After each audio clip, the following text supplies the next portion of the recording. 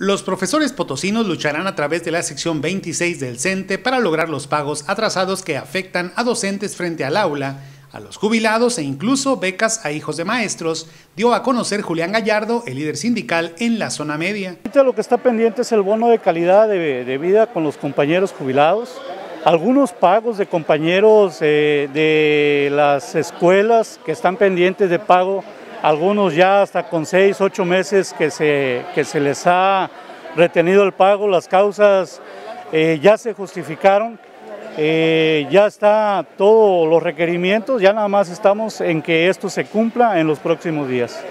Tenemos el pago de becas pendientes que a los trabajadores de la educación del ciclo escolar pasado, que es un compromiso que ha generado nuestro gobernador. El profesor dijo que se han visto los primeros pasos del gobierno del estado por atender este problema, lo cual es muestra del interés que tiene el gremio de defender a sus integrantes. Eh, se ha mostrado voluntad, ya por ahí se empezaron a generar algunos pagos, que he de decir, no, no está en su totalidad, pero sí hay un, un gran respaldo y parece ser que vamos por un buen camino.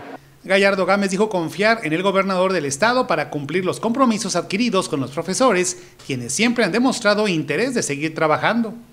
queremos decirte en este sentido que hoy el gobernador del estado, el licenciado Ricardo Gallardo Cardona, ha tenido a bien generar compromisos con nuestro sindicato para saldar los pendientes que tenemos por ahí con los compañeros de la educación.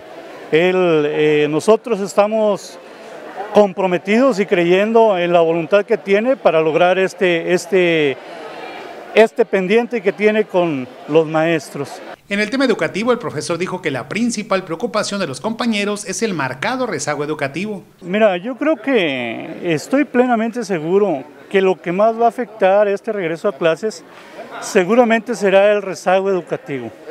Es algo con lo que hemos estado trabajando y seguramente es con lo que mayormente se va a encontrar el maestro el día de hoy en las aulas.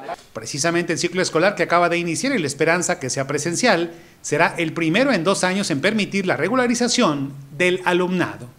Con información de Ana Ramos, Noticieros Cable RB.